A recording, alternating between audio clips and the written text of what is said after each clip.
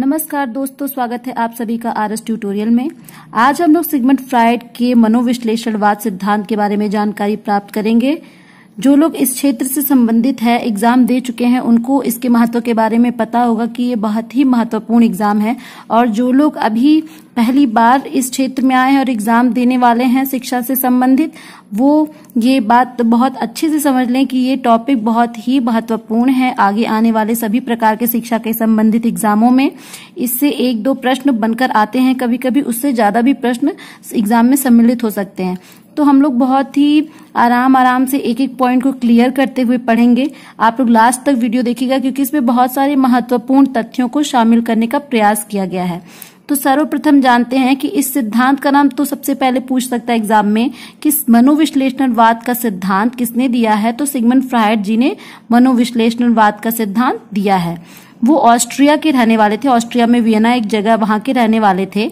इनका जीवन काल है अठारह सौ छप्पन ईस्वी से लेकर उन्नीस सौ अड़तीस, eighteen fifty six to nineteen thirty eight. अब हम देखते हैं कि उन्होंने इस सिद्धांत के अंतर्गत बातें क्या की हैं। मन की तीन आवश्यकताएँ होती हैं, चेतन मन, अर्धचेतन मन तथा अचेतन मन। तीन तरह की मन की अवस्था होती है। पहला है चेतन मन। चेतन मन मतलब वर्तमान से संबंधित, जो भी वर्तमान में चल रहा है, आपके दिमाग में, आपके सामने जो भी चीज़ें हैं, वो वर्तमान से संबंधित चेतन मन है। अर्ध चेतन मन, यानी कि अचानक से आपको कोई चीज़ भूल गया, आपको या, आपने, आप उसको जानते हैं, आपको पता है, फिर भी वो चीज़ आपको भूल गई। किसी चीज़ का आप बहुत अच्छे से जानकारी प्राप्त है, फिर भी अचानक से कोई पूछ लेता है तो दिमाग से स्लिप हो जाता है। तो उस चीज़ को बोलते हैं कि अर्धचेतन मन लेकिन जब थोड़ा प्रयास करते हैं, दिमाग पे दबाव डालते हैं तो वो हमें चीज़ याद आ जाती है। प्रयत्न द्वारा ये चीज़ हमें याद आ जाती है। थर्ड है अचेतन मन। अचेतन मन के अंदर दमित इच्छाएँ होती है। दमित यानी कि दबी हुई इच्छाएँ। मन की दबी हुई इच्छाएँ अचेतन मन में आती हैं। अतृप्त इच्छा, कोई चीज़ आपकी बहुत ज़्यादा इच्छा हो और वो ना हो सकी हो, वो पॉसिबल ना हो सका हो तो वो चीज़ आपके मन में ही रह जाती है। वो अचेतन मन के अंदर आती है। इसके अंतर्गत काम शक्ति का भंडार होता है। इसको कभी कभी पूछ लेता है, काम शक्ति के भंडार को क्या बोलते हैं? तो लिबिडो बोलते हैं और लिबिडो टर्म ये फ्राइड जी के ही द्वारा दिया गया था।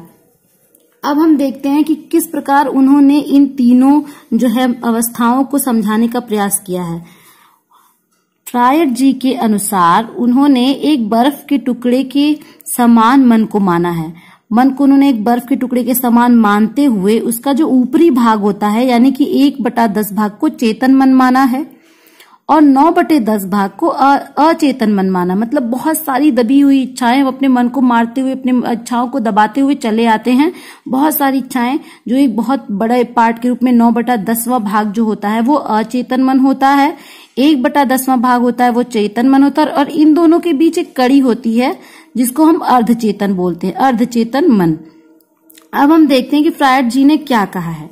फ्रायड जी ने कहा है कि बाहरी व्यवहार को देखकर कभी भी आप किसी व्यक्ति को जज नहीं करेंगे कि उसके मन में क्या चल रहा है। बाहर से अगर इंसान खुश दिख रहा है, हंस रहा है, इसका ये बिल्कुल मतलब नहीं है कि उसके मन में बहुत ही अच्छी चीज़ें चल रही होंगी। कभी कभी दिखावे के चक्कर में भी हंसना पड़ता है लोगों के सामने।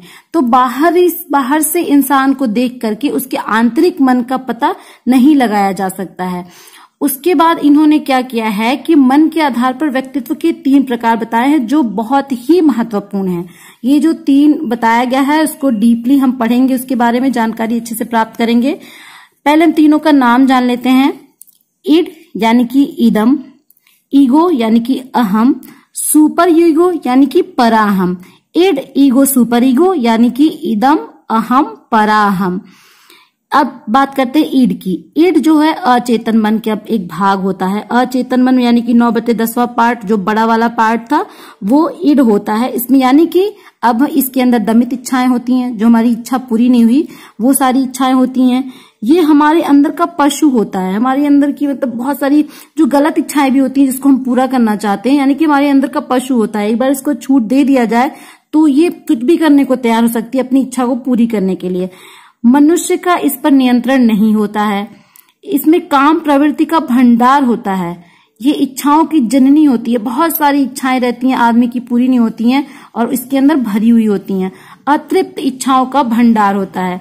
और इसको जो है शैशवावस्था से जोड़ते हुए देखा जाता है, इन्होंने यहाँ पे बताया है। क्योंकि शैशवावस्था में मान लीजिए एक बालक है, वो किसी चीज़ के लिए जिद कर लेता है, और जब वो जिद कर लेता है तो वो उसको पूरा करने की पूरी कोशिश करता है कि किसी भी प्रकार से उसकी जो है जिद, उसकी डिमांड वो पूरी हो सके। तो इसलिए इड को शैशवावस्था से जोड़ करके देखा गया है। सेकेंड है ईगो। यानी कि अहम। मोस्टली हम बोलते हैं कि इसके अंदर बड़ा ईगो है, यानी कि नेगेटिव टर्म में बोलते हैं। लेकिन यहाँ पे हम जब पढ़ेंगे तो हमें लगेगा कि ये ये एक नेगेटिव टर्म नहीं, एक पॉजिटिव टर्म के रूप में उभरा हुआ है। तो हम बात करते हैं ईगो की। ईगो मतलब अहम होता है। ये वास्तविकता होती है। यानी कि सच्चाई जो है, वो यही होती है ईगो होती है। ये उचित और अनुचित में तालमेल बैठाते हुए समायोजन करके रखती है। क्या सही है, क्या गलत है, हमें क्या करना चाहिए? वो सारी चीज़ें इसी के अंदर आती हैं और ईड पे नियंत्रण रखने का पूरा का पूरा काम ईगो करता है। अगर हमारे मन में कुछ गलत चल रहा है, हम ज़बरदस्ती उसको पूरा करना चाहते हैं तो उसका पूरा नियंत्रण यानी कि एक सिपाही की तरह काम करता है ईगो। ये चीज़ बाल्यावस्था में होनी शुरू हो जाती है, तब बच्चा मतलब इस लायक हो जाता है कि वो सोच सके कि क्या चीज़ अच्छी है, क्या नहीं अच्छी है, हमें किस तरह करना चाहिए या नहीं करना चाहिए, हमारे लिए फ़ायदेमंद होगा या नहीं। ये सारी चीज़ें बाल्यावस्था में बच्चा सोचना शुरू कर देता है। तीसरी हम बात करते हैं सुपर ईगो यानी कि परा अहम की। परा पराहम एक आदर्शवादी, नैतिक और सामाजिक जो है स्टेज होता है, एक अवस्था होती है। ये चेतन मन का पार्ट होता है, यानी कि एक बटा दस भाग होता है, छोटी सी ये पार्ट होता है। ये इदम अहम पर जो है नियंत्रण रखता है। इन दोनों पर नियंत्रण रखने का कार्य सुपर ईगो करता है।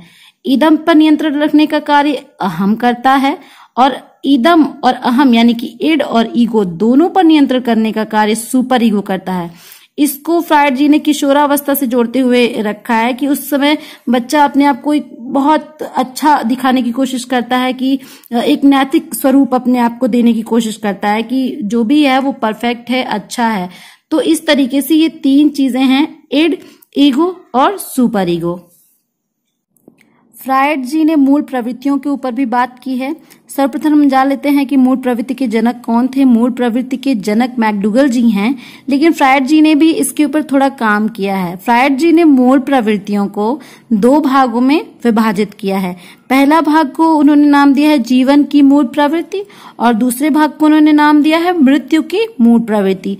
जीवन की मूल प्रवृत्ति के अंदर ऊर्जा तथा जीवन से संबंध स्थापित किया जाता है। जो निर्माणकारी आदतें होती हैं, वो, वही ऊर्जा से तथा जीवन से संबंध स्थापित करती हैं। जीवन की मूल प्रवृत्ति है, जिसको उन्होंने नाम दिया है फ्राइड जी ने नाम दिया इरोज। और दूसरी है, मृत्यु की मूल प्रवृत्ति, जो विनाशकारी होती हैं, विनाश से संबंध रखती हैं, उसको उन्होंने नाम दिया है, थैनाटॉस। अब हम दो और बातें देख लेते हैं। पहला है, ऑडिपस ग्रंथि। लड़के का उसके माँ के प्रति ज़्यादा प्रेम और स्नेह दिखाना ये ऑडिपस ग्रंथ के कारण होती है। और लड़की का पिता के प्रति ज़्यादा प्रेम और स्नेह दिखाना इलेक्ट्रा ग्रंथ की वजह से होती है। तो एग्ज़ाम में पूछ लिया जाता है कभी कभी कि ऑडिपस ग्रंथि का क्या काम है तो लड़के का माँ के प्रति प्रेम और स्नेह और लड़की का पिता के प्रति प्रेम और स्नेह इलेक्ट्रा ग्रंथ की वजह से होती है। तो आज के हमारे क्लास के लिए इतना ही। अगले टर्न पे हम कुछ नए तथ्यों के साथ आपके सामने हाजिर होंगे।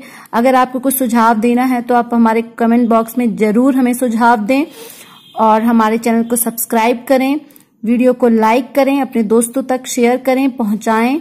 धन्यवाद।